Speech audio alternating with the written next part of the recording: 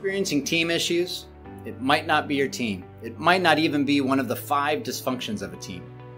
I'm Christian Muntean. I'm an executive coach, consultant, and the author of The Successful New CEO. If you have team issues, you might simply just be using the wrong kind of team. Let me illustrate. In high school, I played basketball and I ran track and field. Both sports are comprised of teams. Both are legitimate teams, but they operate completely differently. In basketball, you practice together, you run plays together, you win or lose together. Winning requires a heavy dependence on the performance of others. Track and field, technically the team wins or loses together, but a team win is dependent on individual performance and success. All of the practice, all the effort, and even the competition is individual. Even on relays, which I ran, you run alone.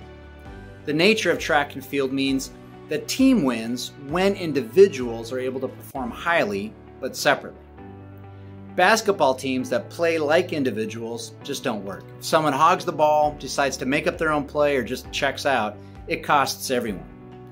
But track and field teams don't even have the opportunity to directly support the performance of others, especially in competition. Nobody can help you sprint faster. No one else can make it easier to clear that hurdle. In organizations, you might have a need for both kinds of teams. Your executive team, for example, might be a basketball team.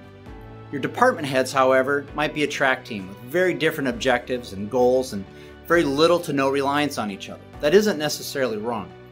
So here's how to make each work. If you have a basketball team, the key challenges tend to be that proximity and high interdependence allow for friction and frustration. So to help with that, focus on their relationships, creating alignment, helping cultivate clear communication and trust building.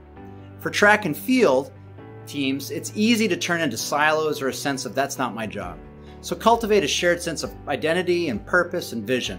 Organize the culture around values and a unifying vision or goal. Develop the habit of celebrating each other's victories. Additionally, find ways to support each other and avoid competing with each other. Look forward to hearing your comments down below, and if you'd like to learn more about stepping into senior leadership, pick up a copy of my book at thesuccessfulnewceo.com or amazon.com.